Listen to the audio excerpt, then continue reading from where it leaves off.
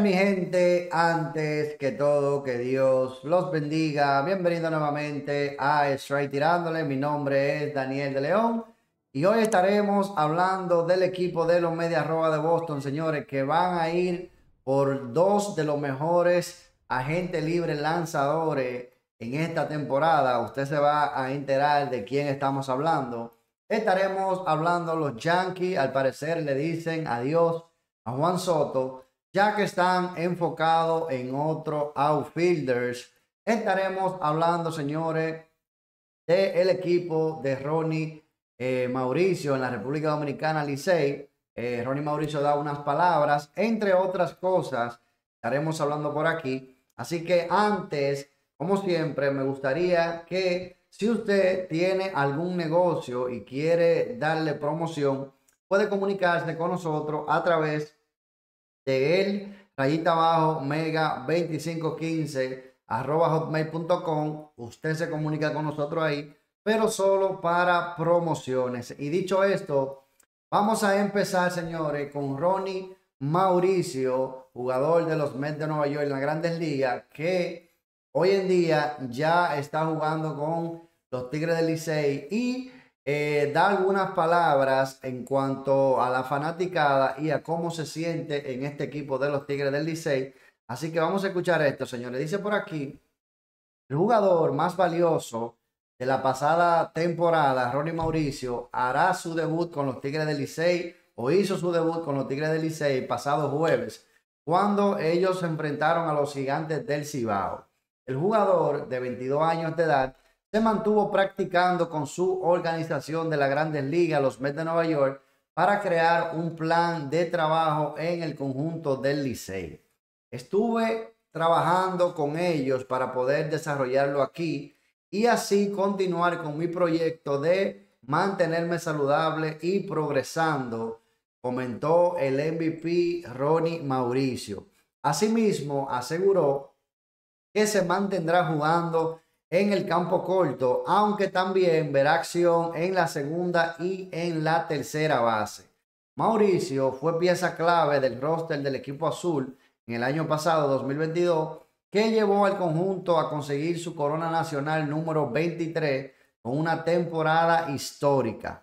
Sus cinco cuadrangulares, 31 carreras impulsadas y 26 carreras anotadas le, le valieron para adueñarse del premio MVP de la serie regular de la Liga de Béisbol Profesional de la República Dominicana, la Lidón. Además, conquistó o consiguió un promedio de bateo de 2.87, 3.32 de promedio de envasarse y un slogan de 468. Junto con su slogan y carrera remolcada, fue el líder de Hicks con 54 dobles con 15, juegos jugados con 46 y bases alcanzadas con 88. Todo, escuchen esto, esta palabra la dice él. Todo esto significó mucho, fue lo que me ayudó a alcanzar mi máximo nivel como pelotero. Fue una parte fundamental de mi desarrollo para poder jugar en la MLB. Aquí aprendí a tener mejor disciplina seguir trabajando y querer progresar cada día, aprendiendo algo todos los días, agregó Ronnie Mauricio. El nativo de San Pedro de Macorís hizo su debut en las grandes ligas el pasado primero de septiembre, conectando dos hits, incluyendo un doble en su primer turno en las grandes ligas.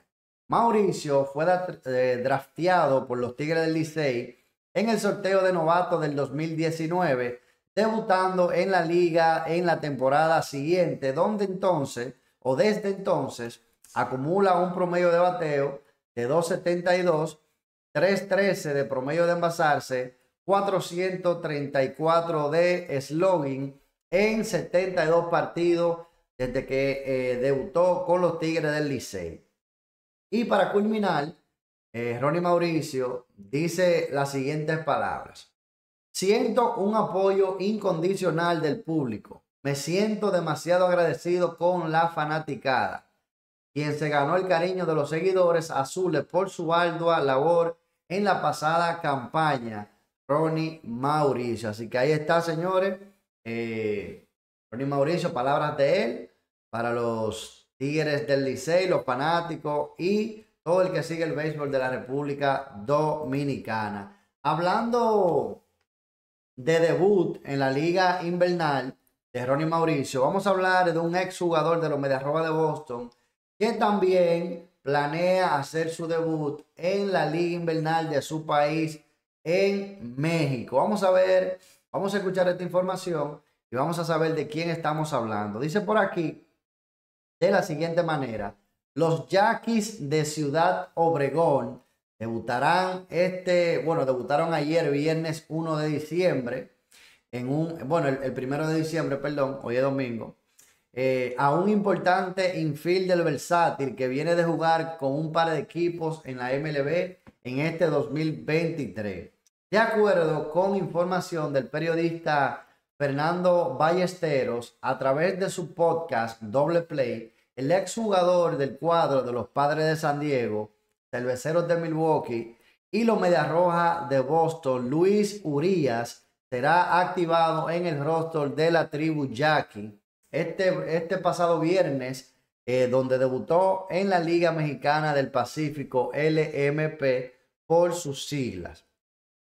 Si el manager Sergio Omar Güero Gastelum lo decide, el Huicho Uría podría jugar hoy su primer partido del presente torneo en la pelota invernal de México durante la serie que inician los Yaquis ante los Naranjeros de Hermosillo en la capital sonorense.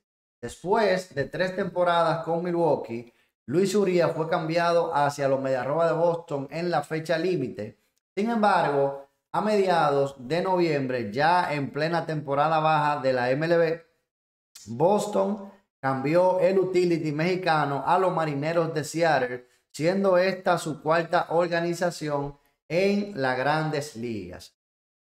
Eh, respecto a su experiencia en la Liga Mexicana del Pacífico, Luis Uría va por su cuarta temporada, todas con, las, con los Yaquis.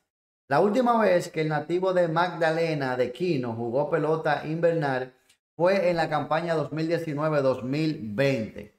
En 78 partidos jugó eh, en, la, en, la, temporada regular con la novena del Valle de Yaqui. Urias batió promedio de 2.75 y ha deleitado a los aficionados con 5 palos de vuelta entera y 32 carreras impulsadas. O sea, 2.75 de promedio, 5 cuadrangulares y 32 carreras eh, remolcadas en 78 partidos en la Liga Mexicana del Pacífico. Y que ahí está.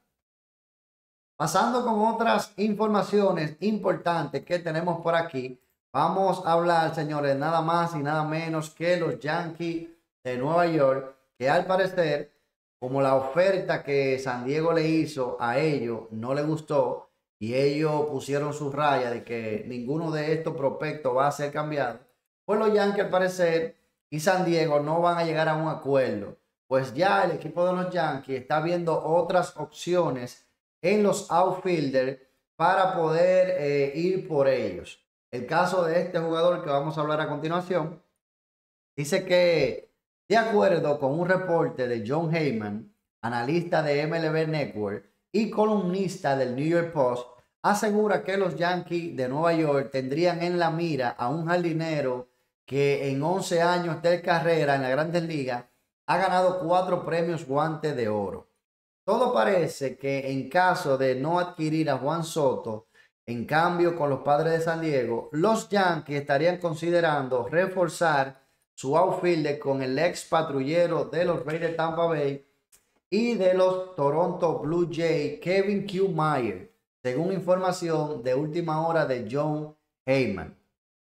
Antes de convertirse en agente libre, el propio Kiermaier admitió su deseo de vestir el uniforme de rayas en los Yankees de Nueva York y al parecer su petición fue escuchada por la directiva de los Yankees, quienes ya estarían considerándolo como un objetivo, afirma.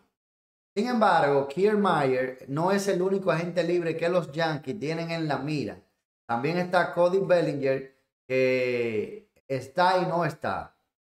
¿Por qué? Porque el precio que se le ha puesto a Cody Bellinger ahora, los Yankees lo consideran que es mucho dinero. Kevin Kiermaier tiene la ventaja de que toda su carrera ha jugado para equipos del este de la Liga Americana.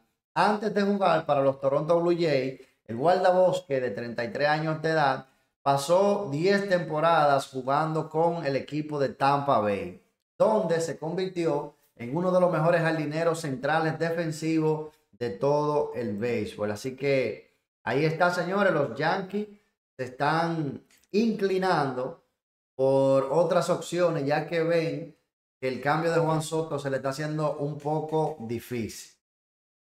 Pasando con la siguiente información, hablando de otro de los equipos del este, vamos a hablar de mi equipo, los Medias Rojas de Boston. Señores, los Medias Rojas de Boston van con todo. Quieren contratar a estos dos lanzadores. No a uno de ellos, no, a los dos. Así que vamos a escuchar esta información porque me encantaría que pasara de esta manera. Dice por aquí lo siguiente. Después de varias semanas siendo señalados como uno de los equipos favoritos para la firma de Shohei Otani, la directiva de los Mediarroba de Boston se salió de la contienda debido a la urgencia de reforzar su picheo abridor para la temporada 2024 de la MLB.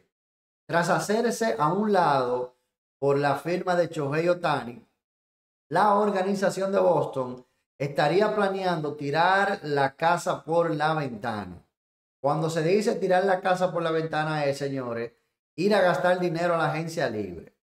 Dice por aquí, quieren tirar la casa por la ventana y quieren negociar un acuerdo con cuatro de los mejores pitchers abridores de la agencia libre. No solo dos, cuatro. Según el periodista Marino Pempen, a través de sus redes sociales, los Media Roba de Boston tendrían en la mira al dos veces ganador del Young, Blaze Neo, que ganó su segundo este año con el equipo de, de, Tech, de San Diego, perdón, eh, estarían también detrás del japonés Yoshinobu Yamamoto, eh, eh, ex, el ex lanzador de los Yankees de Nueva York, Jordan Montgomery, y el ex lanzador de los Media Blanca de Chicago, Dylan Casey. O sea, señores, el equipo de Boston quiere ir por estos cuatro lanzadores. Y yo siendo ellos, no lo, pensara, no lo pensaría mucho y diera todo lo que haya que dar. Recuérdense que al parecer el dueño del equipo de Boston le dio luz verde al nuevo gerente general de que haga contrato, porque desde que él llegó, él dijo, esta vez no vamos a tener limitaciones, vamos a ir por lo que necesitamos. Dice aquí que no está claro cuál de estos cuatro sería la prioridad a firmar o cuándo de ellos considerarían los Mediarroba de Boston añadir a su rotación abridora para la temporada 2024. O sea que de todos ellos no se sabe cuál sería el, principal, pero eso está más que obvio. Creo que Yoshinobu Yamamoto, el lanzador japonés, creo que uno de los que ellos eh, querrían ir delante. Dice por aquí, de esta manera, los Medias Rojas de Boston estarían sacrificando la contratación o, la contratación del mejor beisbolista del planeta en el, con el objetivo de mejorar su picho abridor a partir de la, del siguiente torneo y en la temporada venidera. Ustedes saben que Chohei Otani es un jugador doble vía, pero lamentablemente en estos momentos Chohei Otani la temporada 2024 no va a poder lanzar y Boston no hace nada contratando a Chohei Otani para que este año no te pueda lanzar cuando realmente lo que necesitamos nosotros como bostonianos es lanzadores. Esta es una de las noticias que más me ha gustado. Yo espero que no se quede en que lo haremos y que lo hagan. Esos cuatro lanzadores son los cuatro, uno de los, son los, los, como que te digo, son los cuatro mejores lanzadores que puede haber atractivos de todo lo que hay. Así que ahí está, señores. Tú como fanático de Boston, ¿te gustaría esta idea de que nosotros filmáramos a por lo menos dos de ellos? Déjame tu comentario por ahí debajo. Como siempre, los invito, señores, a que si usted tiene algún negocio y quiere darle promoción, puede comunicarse con nosotros a través de el rayita bajo mega 2515 arroba Usted me tira por ahí solo para negocios. Y dicho esto, eh, quiero invitarlo a que se suscriban al canal, activen la campanita de notificaciones, denle un buen like, sobre todo compartan este contenido para que más personas se enteren de lo que estamos haciendo aquí en el canal. Así que bendiciones y nos vemos hasta la próxima.